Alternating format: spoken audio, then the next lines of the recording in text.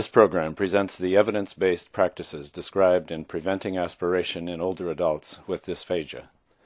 It is estimated that between 300,000 to 600,000 individuals in the U.S. are affected with dysphagia, resulting largely from neurological disorders. As the population ages, the prevalence of this problem will most likely increase. This program describes steps nurses can take in oral and tube feeding of patients with dysphagia to minimize the risk of aspiration.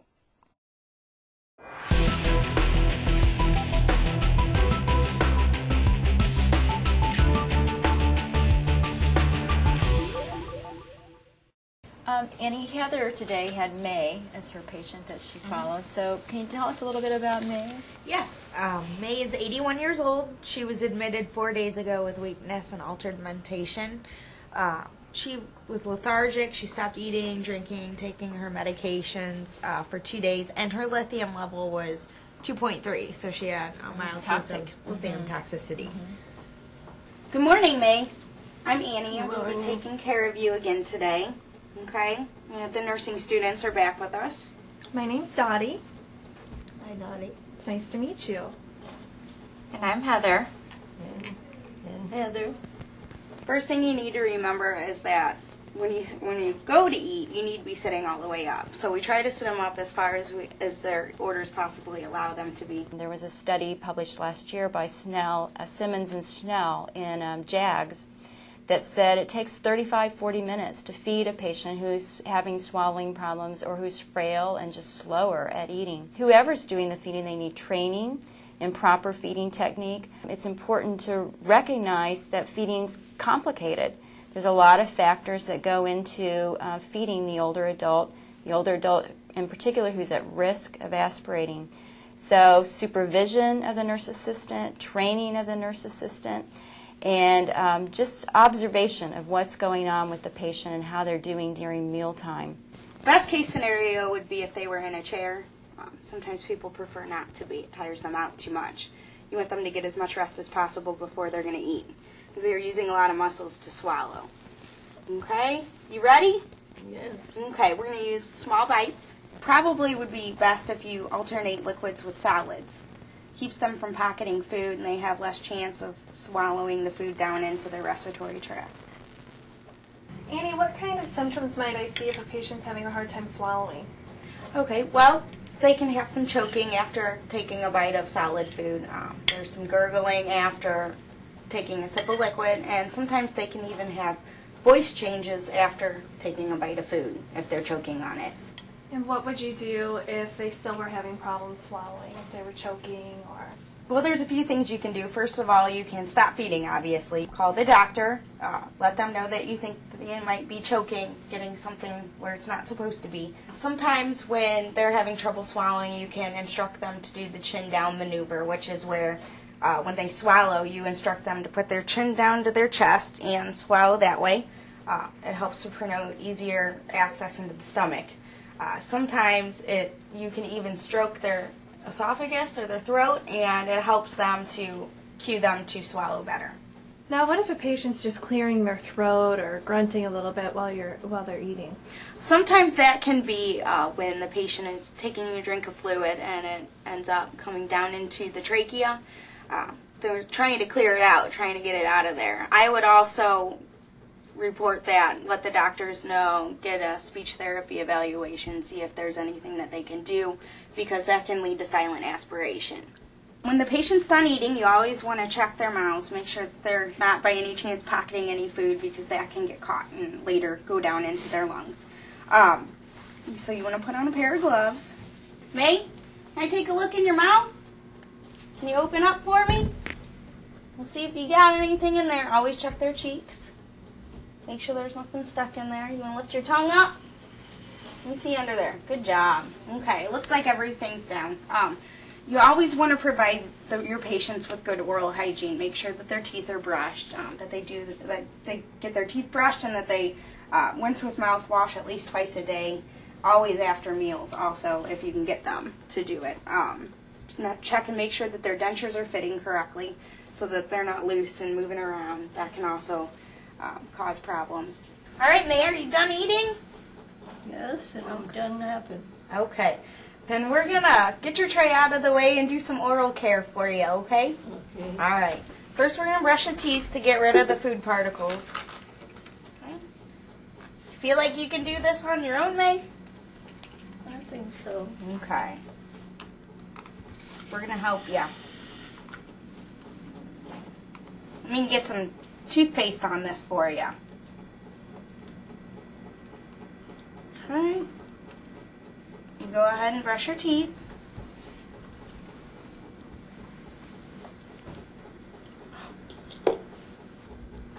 And if they would need any help, you can assist them to brush the back of their teeth and on the inside, lower front, and the back.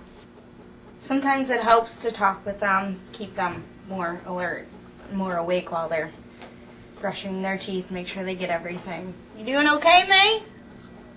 Yeah? Okay. You feel like you're almost done? Yeah. You want to rinse? Okay. First, we're going to rinse with water. And take a sip.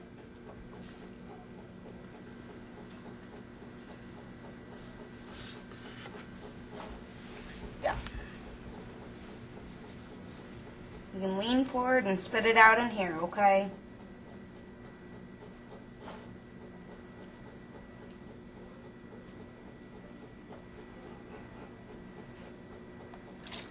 Good job. Okay, and you want to have them rinse with mouthwash. Feel like you got it all? Yes.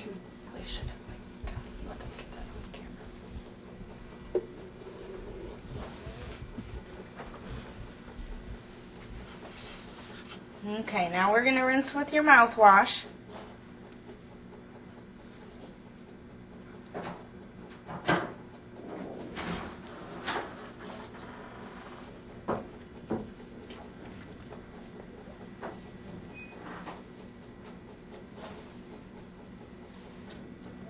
Got, got rid of. Got rid of everything? Yes.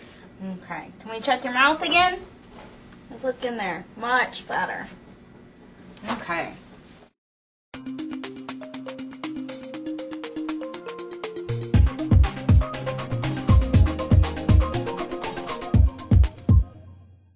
So, Annie, can you tell us a little bit of um, Mrs. Tilson's history? Yes, um, she's 82 years old.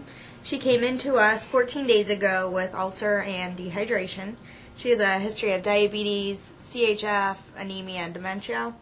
Uh, while she was at home, she was under hospice care. While she was here, she developed AFib, needed to be cardioverted, and sent to the unit where she was intubated. Um, then she developed right lower lobe pneumonia. Her tube feeding was placed four days ago and was confirmed by x ray. About three days ago, um, the doctors asked us to come in um, because she had suddenly um, developed an inability to swallow or some difficulty swallowing. Um, and when we got there, um, we basically did our um, bedside evaluation, which consists of um, doing a full chart review and getting a, a good understanding of the history, and then just meeting the patient and seeing um, what she's currently doing at bedside. We look at um, strength and range of motion of her oral muscles um, and check and see if she's um, spontaneously swallowing um, her saliva, which at that point she was not. Um, we provided a little bit of oral care to her, and she did have a reaction. She did, you know, put her lips around the swab and kind of responded to it. Um, so we presented a, a bolus of pudding to her, and she held it in her mouth for about 20, 25 seconds, and then spit it back out. Um, and the nurses said that that's what she had been doing for the last, well, about 24 hours, is that they hadn't been able to get her to actually swallow anything. Um, and uh, so what we're doing now is um, going in and doing some stimulation therapy with her and seeing if we can't get her to, you know, accept it and actually swallow um, the, the bolus of food. So, and at this point, it was more appropriate for her to go ahead and um, get some tube feeding so that she can meet her nutritional needs and they can get the medicine in her that she needs. I'm Annie. I'm going to be taking care of you today. We have two nursing students. Let them introduce themselves. Good morning, I'm Heather. Hi, I'm Dottie, Miss Tilson. Mrs. Tilson was just admitted to the hospital with pneumonia. Um, she also had a small bore tube feeding place, so we want to be particularly attentive to that so that she doesn't develop aspiration. Patients who are on tube feeding, they need to be closely monitored. Um, there's been research that looks that um, uh, pa- patients who are on tube feedings really need um, careful assessment. Positioning of the tube, has the position changed, checking the residuals, checking toleration of the feeding. And that needs to be done by a nurse who's trained in those procedures. Patients that have small bore feeding tubes, you always want to make sure that they're at least 30 degrees in the bed, if not a little bit higher for comfort. Once the tube is placed, you want to make sure that you tape it, and then you want to make sure that you mark it so that you know how far it is out of the stomach. Okay, and you just take a tape measure and a black marker, and you measure from the tip of the nose to the end of the tube, which is right here. These are just little ports for feeding. All right, Mrs. Tilson, we're going to measure how far the tube extends from your nose, okay? Okay. Measure from right here all the way to the end. It's about four centimeters. You did real good. Now I'm going to mark your tube. Okay, we're going to mark here. Or you know what I would say? I would say um, her tube was placed recently, and you can see where it's been marked, and I just Okay. check to make sure it hasn't moved. You don't want to be marking it now. Right. Okay. Okay, as you can see. Um, a couple ways to check placement throughout your shift are to check and make sure that you see where the mark is at, and check and make sure that you can measure from the beginning to the end of the tube, and then also to check pH. Hi, Mrs. Tilson. I'm Jan. I'm going to be helping Annie for a few minutes, okay? Okay. Okay. Now we're just going to check residual. Again, you want to make sure that they're elevated more than 30 degrees, and if they have a tube feeding running, make sure that it is off.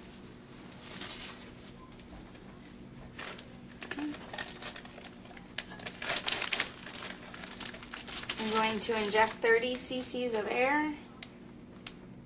And you're using a 60 cc syringe, right? Yes. Okay, Mrs. Tilson, I'm just going to check and make sure that your tube's in the right spot. Make sure that you clamp between the patient and the port that you're going to open.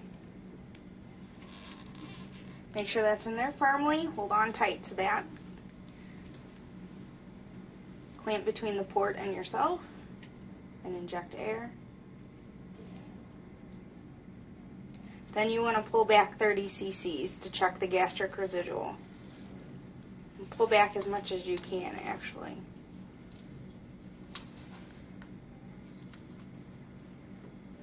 So if you can't get anything back, then you can inject another 30 cc's of air.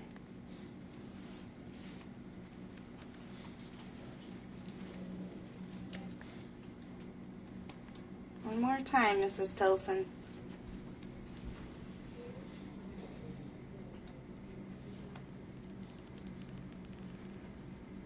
And how much residual is too much? Um, anything, well, it depends on what the doctor's written for the patient. In her case, it's 60 cc's. So it looks like it. Go ahead and keep that out. Any of the residual that you have, go ahead and collect that.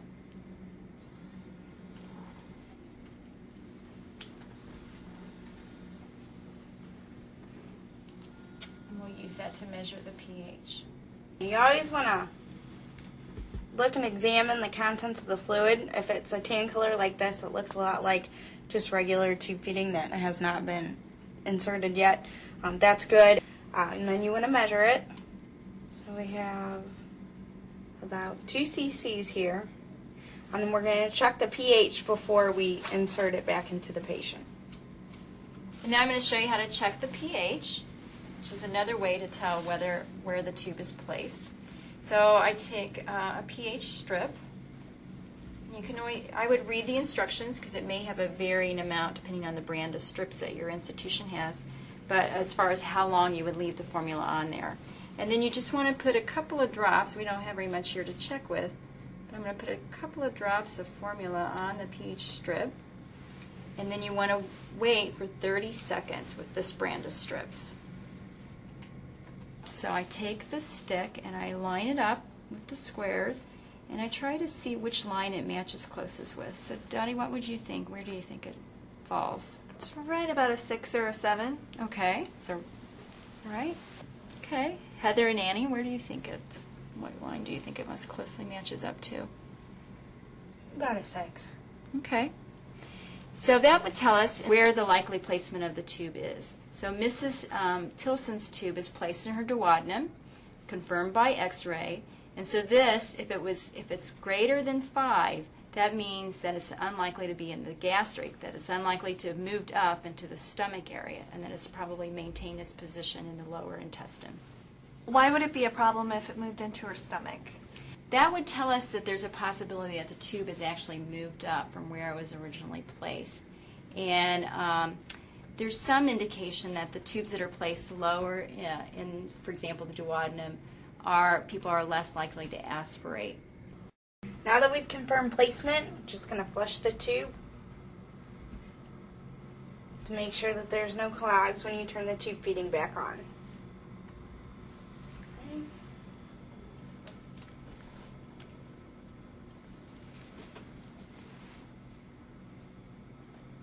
Okay, so now we've checked, made sure that the markings are correct and the length was correct.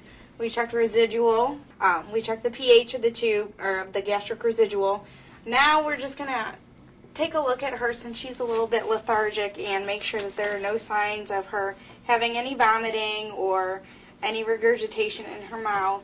You also want to check their abdomen and make sure that she's not distended. That would be a sign that she's not tolerating the tube feeding. Mrs. Tilson, we're just going to take a look at your abdomen here for a second.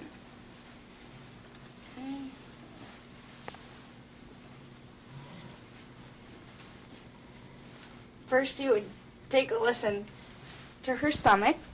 Make sure she's got good bowel sounds. Okay. All right. She's got good bowel sounds. You want to check in all four quadrants. And I always look, um, patients with tubes are at risk of regurgitating and vomiting and aspirating. Um, some the risk may be the same or greater for patients who are on tube feeding than for patients who are being hand fed. So I also, she's lethargic and she can't really tell us if she's vomited or anything. So when I have a patient like that, in addition to doing all of these steps, I look at their pillow to make sure there's no signs of, of any regurgitated um, uh, tube feeding or any other problems. So her pillow's all nice, and um, you know, there's no um, tubing or anything on her gown. So she seems to be re- resting comfortably. So that's a good sign. That's another thing when I'm checking. I just look in her mouth to just see if there's any signs of tube feeding in her mouth, and she's got her mouth open. And this Mrs. Tilson, I don't see any um, tube feeding in your mouth, so that's a good sign. All right, now that we've checked placement, um, checked her belly to make sure she was tolerating the tube feeding, that there were no problems, checked her pH, we're going to do the oral care. So we're going to use these swabs and water with a little bit of mouthwash in it and swab out her mouth. Now, since she is lethargic, you want to be very careful how much water is in the swab. You don't want her to aspirate on the oral care solution. Okay, so you want to squeeze out as much water as you can.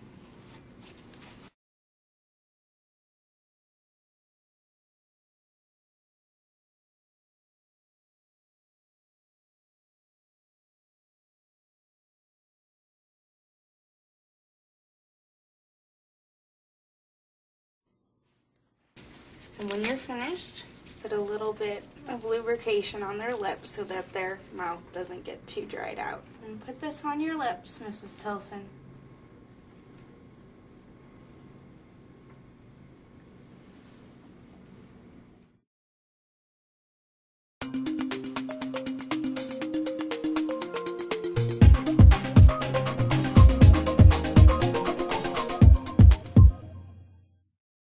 The biggest problem with dysphagia, in my mind, is uh, the rate of aspiration and the uh, bad consequences of aspiration.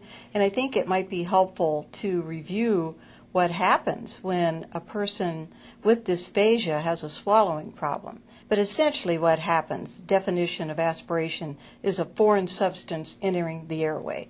And with a dysphagic patient, it's almost always because of failure of the epiglottis to close to keep the food or fluid from entering the trachea instead of the esophagus. So, what we wind up with then is someone who either aspirates food or uh, liquids, which is what we're primarily interested in today, I think, with dysphagic patients, is how we feed them. But I think we also need to consider what I see in my practice very often is patients aspirate oral pharyngeal secretions. Uh, with tube fed patients, they regurgitate gastric contents, and then we either see a chemical pneumonitis, for example, like from a gastric juice that has a low pH, it irritates the lung, they get a pneumonitis. If it gets a superimposed pathogen involved, then we get pneumonia, mm. aspiration pneumonia, which is very prevalent in uh, elderly dysphagic patients. Pneumonia is the eighth leading cause of death um, of older adults in the United States. That was a, the 2004 statistic. And about 30% of um, cases of pneumonia um, are believed to be aspiration pneumonia. So it does occur at a very high frequency. And I read a recent article that even goes beyond the 30%. Out of 170 patients admitted to an acute care facility from a nursing home, uh, they could trace 75% of the uh, pneumonias back to an aspiration event, which I think is very wow. telling. Mm-hmm. And that's a reason we have to strive to prevent aspiration from occurring whenever we can. And I know you've done a lot of work with tube feeding and the prevention of aspiration. Um, Yes. Can you talk about that? When a feeding tube is blindly inserted, and that merely means that the individual that's placing the tube either inserts the tube through the nose or through the mouth, and they can't see where the tube is going. So we call that a blind insertion. Mm.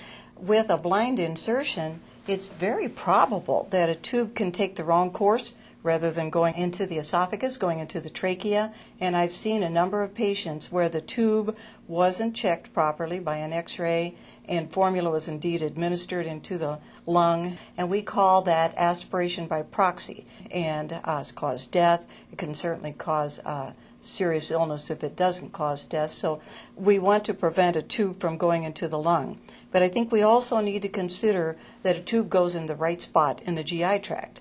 And I've seen several cases in the past year where a feeding tube gets into the esophagus but doesn't get beyond the esophagus. Mm. And then the ports are there in the esophagus, and when they dump the formula in, then here's formula flowing into the esophagus. Part of it refluxes back into the mouth, and the individual aspirates. So that can be very serious. So the bottom line is with a blindly placed feeding tube, we have to have radiographic confirmation that the tube is in the right place. The right place can either be the stomach, if that's the desired site, or it can be the small bowel. And in critical care settings, we feed most people in the small bowel, but uh, sometimes in the stomach.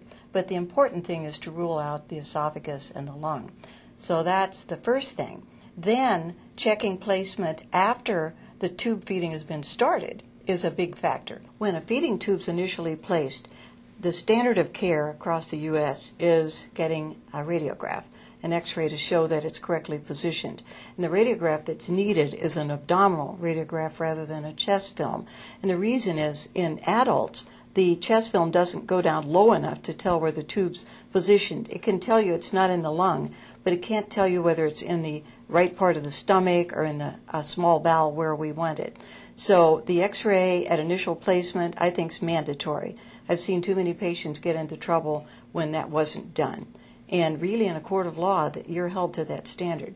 Now, after a feeding is started, you can't keep getting x-rays to see if it stayed in the right position. So what I like to do is when the radiograph is initially done, mark the tube where it enters the nose or the mouth and then watch it to see if it moves more than a couple inches. Then also checking residual volumes. When I do that, I look at what the aspirate looks like from the tube.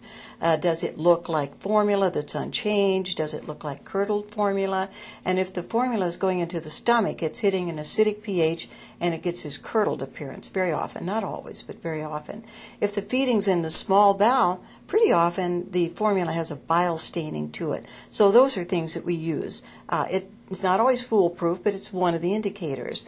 Then, lastly, the volume. The gastric uh, volume is quite a bit higher than what's in the small bowel. So, if you have a tube in the small bowel and it has a residual volume of five milliliters or less than five milliliters for a couple days, then all of a sudden it jumps up to 50 or 100. It's a pretty good indication the tube is uh, dislocated upward into the stomach, and that's the time when we get an x ray. So we cut down the number of x rays that way. And then, even at the time of initial placement, we use pH to look at the uh, aspirate to tell where the tube's at. Very often, when we insert a tube, we get into the stomach, pull the fluid back, get a low pH, and then manipulate the tube down into the small bowel. And when we get a pH of 7 or 8, then we're pretty sure we're in the small bowel. Then we get the x ray. When a person aspirates, it's not just a, uh, a one size fits all.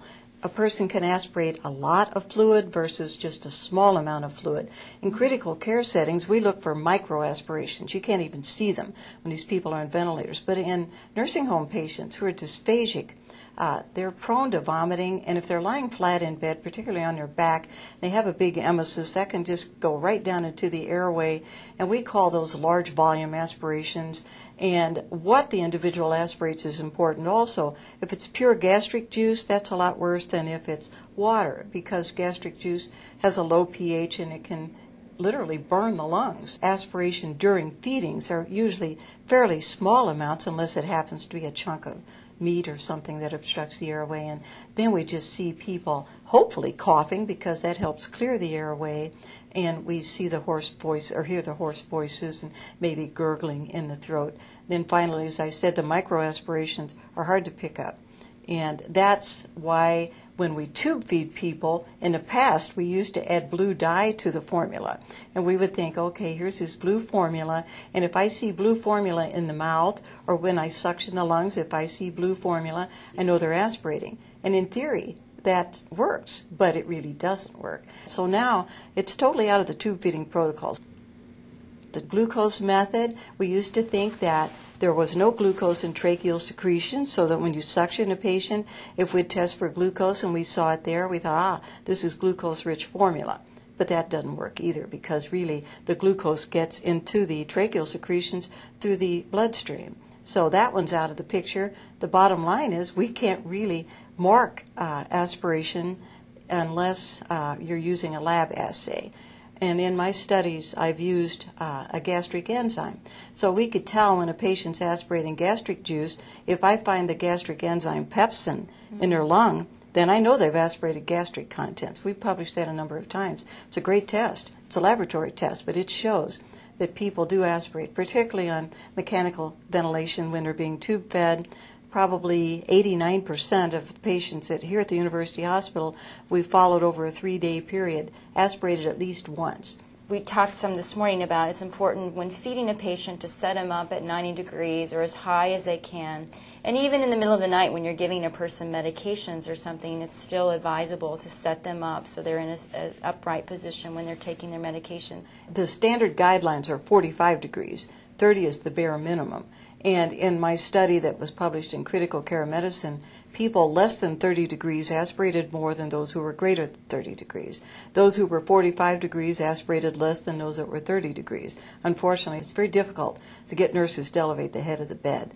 And in uh, long term care facilities, nurses are told don't elevate the head of the bed because you'll cause sacral ulcers. So this is a fight we have. Mm-hmm. Those of us who are trying to prevent aspiration versus those who are trying to prevent bed sores. Are you saying that um, patients who are at risk of aspiration or who have dysphagia or a history of regurgitation that their head of bed should be elevated at all times if, if tolerated? I think the answer to your question is at least for one or two hours after feeding. And if you can keep the head of the bed elevated longer, then I would kind of put on my other hat and worry about uh, s- skin. Mm-hmm. Uh, but at least I'd say one or two hours after uh, a tube feeding, if it's an intermittent feeding, if it's a continuous feeding, it's got to be up all the time. If they're eating, uh, if they're being hand fed, then I'd say one or two hours after that. And uh, then kind of play it by ear. And I would say to clinicians, treat everybody who's mechanically ventilated and tube fed at high risk for aspiration. And that doesn't make much sense if you stop and think about it because a mechanically ventilated patient has an endotracheal tube that's got a cuff on it. And that cuff is supposed to keep uh, any secretions from coming past the cuff. So if the person has dysphagia, or it should get caught above the cuff. But in reality, we know that it will prevent a large volume aspiration, but little amounts of fluid trickle by these all the time. Mm-hmm. And these are what we call these micro aspirations that are hard to pick up. So mechanically ventilated patients do aspirate. As I said in my study, 89% of them aspirate at least once over a three day period. Part of it because these uh, individuals are very heavily sedated, where they don't fight the ventilator, they don't have a cough reflex. All of these things are factors. So when we mechanically ventilate somebody, that doesn't mean they're not aspirating. In fact, they're probably more likely to. Mm-hmm. I would say to people caring for dysphagic tube fed patients, treat them like they're at high risk for aspiration. And I would say that in an extended care facility, nasogastric tubes aren't used more than a couple weeks. And then, if they've got to be in any longer than that, they would put in a PEG tube, a gastrostomy tube. And many people uh, erroneously believe that people don't aspirate when they have a gastrostomy tube. They do. They aspirate every bit as much from a gastrostomy tube as they do from a nasogastric tube. Some of the risk factors for aspiration are a decreased level of consciousness for whatever reason.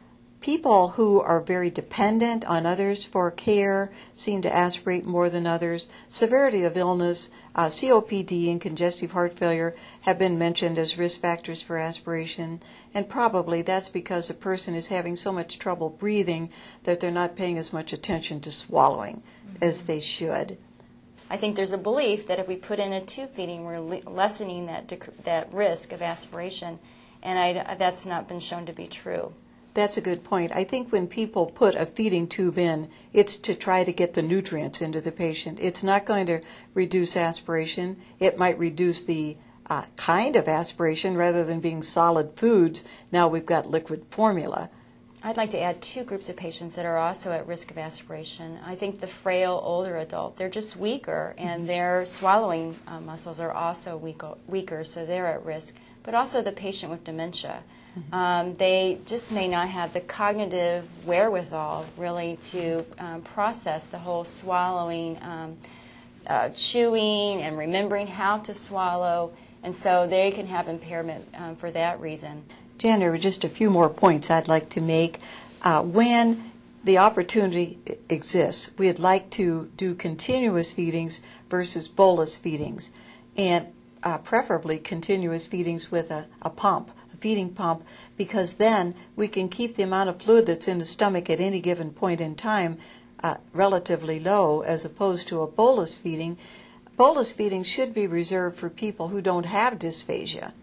People who are dysphagic don't get good mouth care and food pockets in their, their mouth and plaque develops on their teeth and we really need to use toothbrushing, mechanical force with a toothbrush several times a day because when the organisms get embedded in the plaque, then that's where uh, they get into trouble when they regurgitate or when they aspirate uh, oral pharyngeal secretions. Toothettes are okay for moistening the mouth, but they don't get rid of plaque. So toothbrushing is good. Uh, there is a little evidence that chlorhexidine mouthwashes help in cardiac surgical uh, patients. We found a very uh, limited use there. Uh, we've talked uh, this morning about signs of um, swallowing problems, signs that a patient may be aspirating, including coughing, drooling, having a hoarse voice. But also, uh, it's recognized that a number of individuals can experience silent aspiration. By definition, silent means we don't see the signs. So, what we have is an individual having these little micro aspirations that don't cause any clinical signs until they develop pneumonia. Um, they can be individuals who they uh, come, present with multiple upper respiratory tract infections. They just keep getting a, you know, a respiratory tract infection over and mm-hmm. over. And what really may be going on is they may be aspirating, and that's going undetected. And that's the individual that needs the uh, uh, swallow uh, follow up by a speech pathologist. I think it's sad that we have to get to that point before we get the speech pathologist involved. I think many people should be uh, studied uh, for, worked up for dysphagia so this doesn't happen because there are feeding techniques we can use, and the speech pathologist can tell us what they are. Some people need thickened liquids, some don't. Some do better with a chin down swallow, some don't.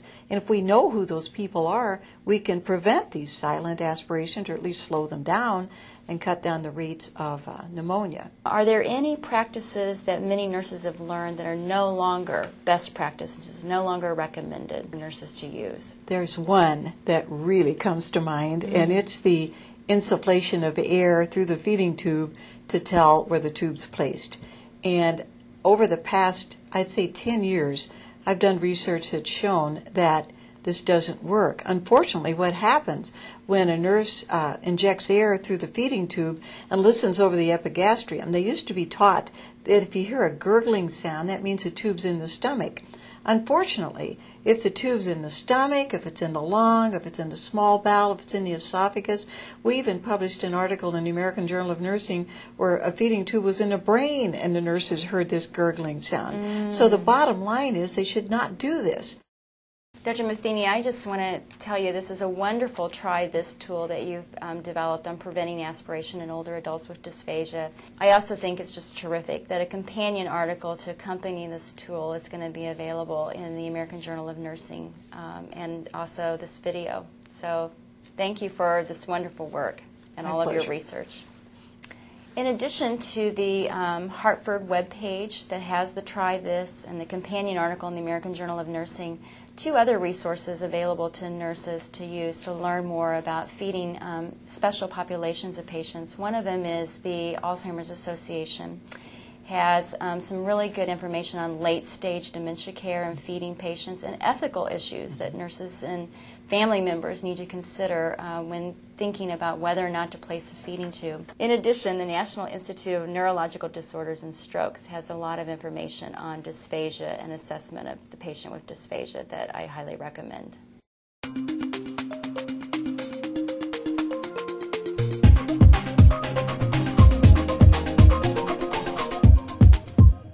I'm Marcia McGuire. I'm geriatric clinical nurse specialist on the ACE unit. I'm Heather. I'm a student nurse. Hi everyone, I'm Jan Palmer. I'm a doctoral student and a um, nurse. Hi, I'm Janice Stevens. I'm a speech pathologist at St. Louis University Hospital. I'm Annie. I'm a 9 North RN 4 nurse. And I'm Dottie. I'm a student nurse. Um, you mentioned earlier muscles with swelling. Can you tell me a little bit about the swelling process? I know I read there's like over 50 or about 50 muscles involved in the swelling process. So There, yeah, th- there is. The sw- swallowing process actually is very complex, and um, and it takes place in the matter of you know one to two seconds. It's very very quick and very very prompt. With a person who has normal muscles and there isn't an issue, um, it, it's a very quick process. Put a brain tumor or a you know stroke or Parkinson's or Alzheimer's or something into the mix and things go haywire. Um, but there are basically four.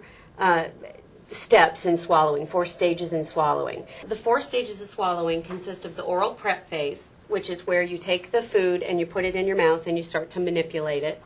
Um, the second stage is the oral stage, which is where you pass the food from the front of your mouth to the back of your mouth and you start to get ready to actually swallow it. The third stage of swallowing is triggered when the food gets to the back of the tongue and you're at the level of the soft palate up at the top, and then the the food goes through the pharynx, goes through the pharynx, and the pharynx is basically a tube that is like this. You've got two tubes that sit side by side, um, about halfway down, and um, and then the and when the swallow is actually triggered, when the food gets to the back of your back of your mouth and the swallow is triggered, your epiglottis kicks in and covers over the airway. Okay, so that the food will go down the esophagus the way that it's supposed to go. Um, and we'll talk in a minute about the things that can go wrong that can cause that epiglottis not to close all the way. And this is the main area of concern when we're talking about dysphagia or swallowing issues is that your airway is sitting open and you've got a 50 50 shot of where the food is going to go. This is an issue. Um, so you need that epiglottis to be covering over the airway um, and the food goes down the right way. And then the fourth stage of swallowing is the esophageal stage which is where the food goes from the pharynx down through the esophagus um, and, and then is, is digested. Can you explain how thickening helps the swallowing process? Sure. Um, we will use thickener if we have a patient who has a delay in their swallow. And the object is we want the liquid to slow down so that the patient has a safe swallow by the time they're ready to swallow. The, the liquid goes down so slow that by the time they kick the swallow in, they're actually ready to swallow. Um, and it'll go down safely. So the, the types of thickener, we use a gel-based thickener here, but there is um, powder-based thickeners that you can also get. But um, typically it comes in two, um, two levels. So you've got a nectar thickener, which is the smaller packet, um, and then a honey thickener, which is a little bit, you know, drips like honey would, so it's very slow. Um, you can also thicken liquids up to a pudding consistency um, for some patients if it means that they don't have to go with tube feeding. So can any nurse um, thicken a, a liquid if they feel like a patient needs it? Um, I um, absolutely the the nurse can thicken the liquids. We actually recommend that they do so, um, and we will educate the nurses after we do our evaluation um, to let them know what is safe and what is not safe for this patient. Um, but for a nurse to you know get a new patient and say, "Oh my, I think you know let's put them on a honey thickened liquid," without knowing what the rationale would be, um, is not a good idea. We don't recommend that the doctors do it either. So when a patient enters the hospital with a diagnosis of stroke, here, they are not fed or given medication until the speech pathologist has done a screening to make sure that they can swallow okay. One of the things we're looking for, whether it's an Alzheimer's patient or a you know 16-year-old trauma head injury patient, is um, whether or not they are spontaneously swallowing. And you can get some idea of what they're doing just by, um, you know, presenting a little bit of stimulation and you know and see what they're doing. If they are speaking at all, um, then you can listen to the voice. If the voice sounds very wet and you know goopy sounding, um, then that's a good sign that they're not swallowing their own saliva and it's not headed down the right way. So um, a, a, wet and gurgly vocal quality is a very bad sign, um, and it, it alerts us to the fact that there is an issue with the swallowing. What about, I know we're here at a university hospital setting, but what kind of pearls of wisdom would you give for nurses who are working at nursing homes or smaller mm-hmm. hospitals where they don't have a speech pathologist right there on right. staff uh, as far as what kinds of red flags for them that they should watch for when mm-hmm. feeding a patient or caring mm-hmm. for a patient that are warning signs that the patient may be having aspirating?